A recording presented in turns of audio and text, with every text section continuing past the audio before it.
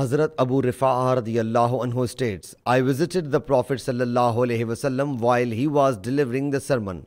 He said that he submitted, O Allah's Apostle sallallahu alaihi wasallam, a traveler has come to inquire about religion as he does not know what religion is. He says, Allah's Apostle sallallahu alaihi wasallam discontinuing the sermon turned towards me, then a chair was brought. I think that chair had iron legs. He says, then Allah's Apostle wasallam sat on it and taught me what Allah taught him of the religion. And then he wasallam completed his sermon. Sahih Muslim Hadith number 2022.